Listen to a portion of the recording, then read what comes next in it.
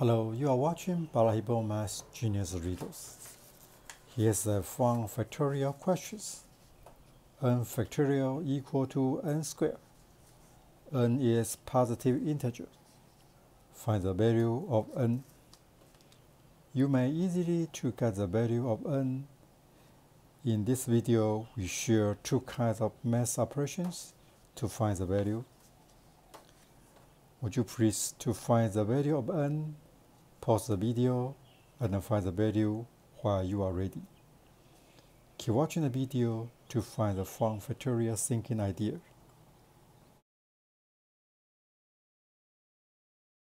The simple questions n factorial equal to n squared. We may guess if n equal to 1.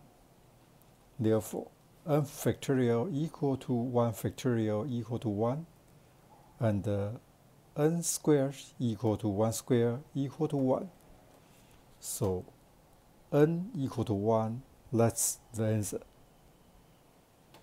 How about we go through mathematics and logic thinking to get n from n factorial equal to n squared.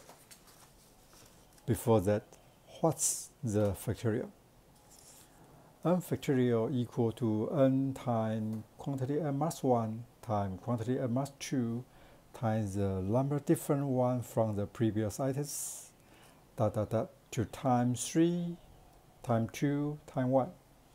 For example, 5 factorial equal to 5 times 4 times 3 times 2 times 1. 4 factorial equal to 4 times 3 times 2 times 1. Then 2 1 factorial equal to 1 and then divide 0 factorial equal to 1. Our given information n factorial equal to n squared. Then we can adjust n factorial equal to n times quantity n minus 1 factorial equal to n squared. Move items to the same type of equations as n squared minus n times quantity n minus 1 factorial equal to 0.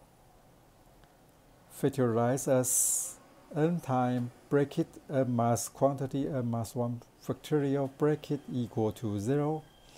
So n equal to 0 or n mass quantity n minus 1 factorial equal to 0. While n equal to 0, substitute n by 0 to the given equations n factorial equal to n squared. 0 factorial equal to 1 and uh, 0 square equal to 0. 1 not equal to 0, so n factorial not equal to n square. Therefore, 0 is not the answer. Then review n mass quantity n mass 1 factorial equal to 0 adjust as n equal to quantity n mass minus 1 factorial.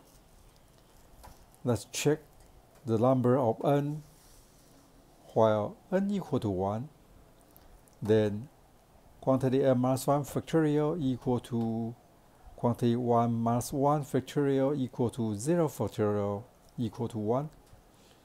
So n factorial equal to n squared. Then n equal to 1 is answer. While n equal to 2, quantity n minus 1 factorial equal to 1 factorial equal to 1. n equal to 2 is not the answers, and n equal to 3.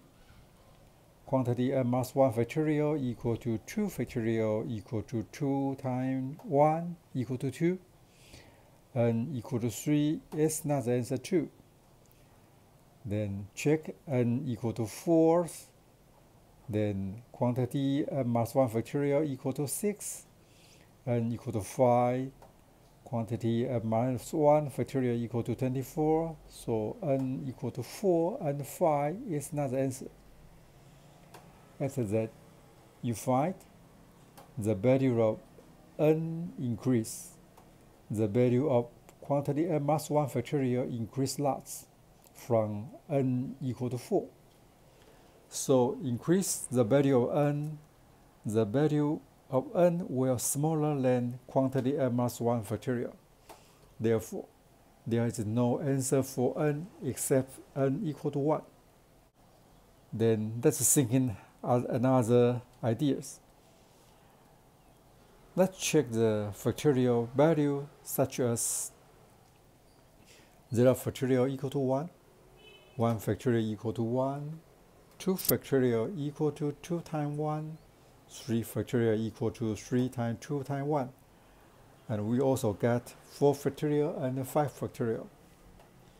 If the value of factorial become a square, check all the value of this factorial. 1 can meet this criteria. It means 0 factorial and 1 factorial properly is the answer. But in the beginning we note n equal to 0 is not the answer, so n equal to 1 is the correct value.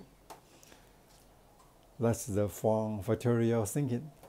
Hope you to enjoy the video. Thank you.